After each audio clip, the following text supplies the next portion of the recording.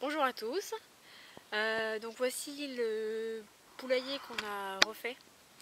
Donc on a fait cette fois une dalle béton. Euh, après les dimensions du poulailler, il fait 1m20 par 1m20. Euh, le toit au plus bas 1m20 et de l'autre côté 1m40. Donc là, la partie carrée qu'on voit, enfin rectangulaire, en fait ça sert, c'est le nourrisseur euh, plus tard, il ressortira un petit peu plus sur la dalle béton et il y aura une petite trappe pour pouvoir remplir par l'extérieur. Mais il faut qu'on le vernisse en, vernis extérieur, quoi, vernis bateau. Donc en attendant, pour protéger de la pluie, on l'a poussé comme ça. Après, on a donc le pondoir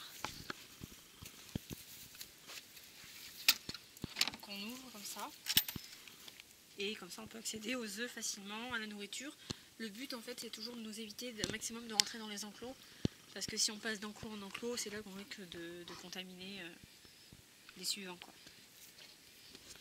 Les pondoirs, c'est des caisses en plastique euh, toutes simples, euh, bateaux, qui sont posées sur les, le contour en bois. Comme ça, on peut les enlever, les nettoyer. ça, se soulève, donc on peut les vider facilement. Voilà, il y a une poule dans le nid et normalement il y a un œuf aussi dessous.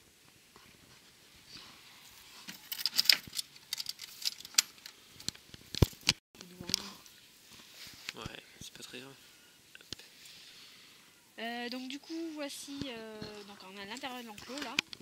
Donc il y a la trappe euh, automatique solaire pour que ça s'ouvre tout seul le matin et que ça se ferme le soir. On a donc une porte pour pouvoir rentrer dedans.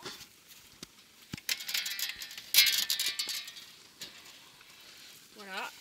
Alors à l'intérieur donc on a un perchoir donc au fond bah, la caisse avec, avec l'aliment alors euh, on voit du sang hein, sur le début, mais c'est au tout début on n'a pas pensé et il y a un coq qui a dû se prendre une écharde et voilà. Mais depuis, euh, depuis il n'y a pas eu d'autres problèmes. Et euh, donc à côté, le truc vert, c'est un abreuvoir à, niveau constant. Donc pour le moment il n'est pas encore relié à une réserve d'eau, mais ça viendra.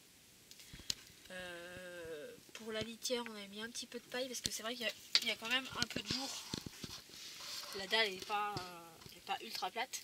Donc il y a un peu de jour, on a mis un peu de paille et après euh, du copeau par-dessus. Parce que si on mettait que les copeaux, en fait, ils sortiraient tout de suite, euh, tout de suite dehors.